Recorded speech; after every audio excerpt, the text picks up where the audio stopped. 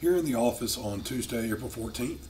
Still trying to uh, do at least a, one update a week to try to keep you informed on what we're seeing with COVID 19, what we're seeing in the real estate market, and speak to what's going on directly in Athens. So, um, you might have gotten information from us last week, either on social media or through an email, where Friday morning we ran the numbers again. And what we wanted to compare was Watkinsville, Oconee, and Athens Clarke County, just those two counties compare the total home sales for 2019 year to date to 2020 year to date. What was probably surprising to many of you to see is the numbers were almost identical. As of last Friday, we had 449 home sales in Clarke County and Oconee County. We had 454 home sales last year. The average sold price was 268 this time last year, and last Friday it was 280. So we were up 12,000 on value and we were just down four or five homes total. So we wanted to note that really the fundamentals of our market were very good. We were right in pace with 2019.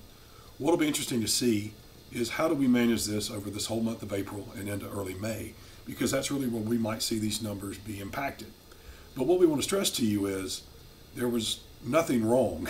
so what we're seeing is a reduction in activity, not a something bad in property values or something like that.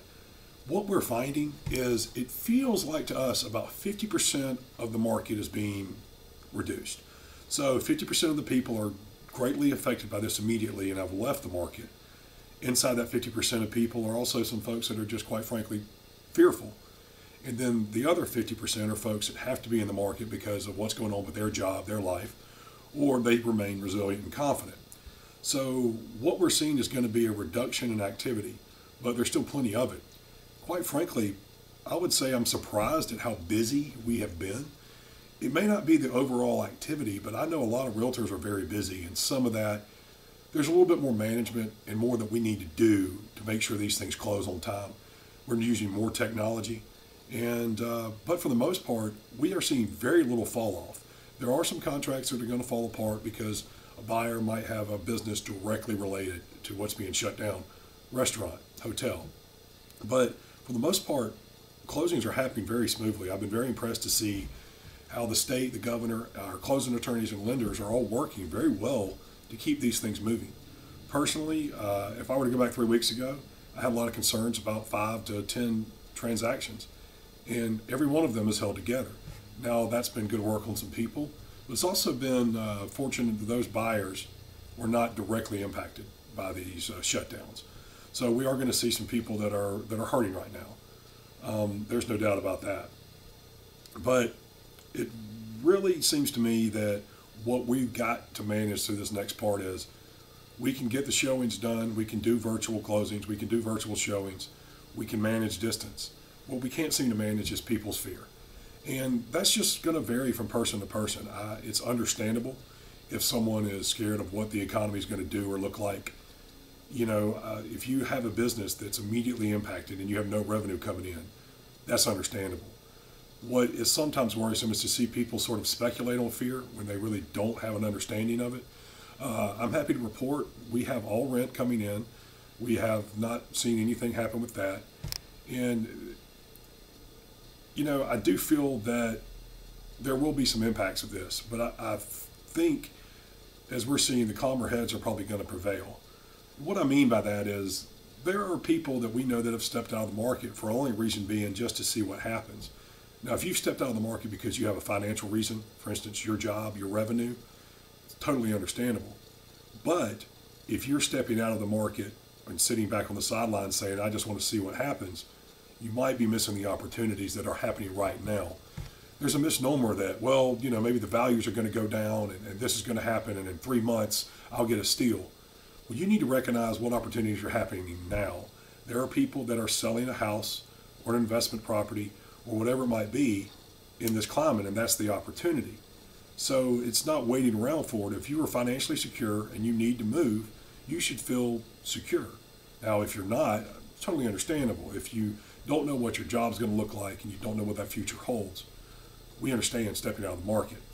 But opportunities are existing today, and sitting on the sidelines may not be the right thing because if we get through this, let's say sometime in May, Well, there's going to be a huge surge of activity. A lot of people are going to get off the fence, and all of a sudden, there's more competition. Thankfully, we'd hope there'd be more listings, but there may not be. And if we have all these buyers enter the fray, and the listings are slow to come, you're going to see opportunities go by the wayside. Now, again, that's hopeful and wishful thinking because we really don't know. But I can tell you what it feels like and what we're seeing. And we still see a strong market. It's going to be reduced. I'll be really curious to see what the numbers look like when we do them again in May. And I expect to see them lower than 2019, but I don't expect them to fall off a cliff. Um, you know, I do think the last thing we want to say, as I always try to close on, is the importance of taking this seriously and being safe. Uh, today, I'm right now the only person in the office. Um, all of the the things we're seeing in real estate are being done very separately. In fact, it's unique. I, I haven't been to an inspection, I haven't been to an appraisal or closing, and a lot of the agents in our office haven't either. Face to face interaction is happening very minimal, and it really has been impressive to see what we can get done. But the one point about this video, I won't try to make it too long, is we have got a strong market. The fundamentals are sound. It's what happens over these next 30 days and how much does it reduce our activity. We're still able to bring properties to market. We're still closing them.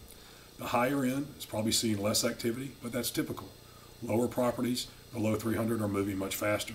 So just know that if you've got to make a move, we can still get it done. Hopefully, we'll see this ourselves through this in a short amount of time, and we can look back on this as something that we were able to manage as a town, a state, and a country, and look back on it and say, hopefully, we'll be better prepared the next time it happens. But in the meantime, if you have any questions about the market, what you think your values are doing, or maybe getting a plan to act, feel free to reach out to anybody here at Five Market Realty.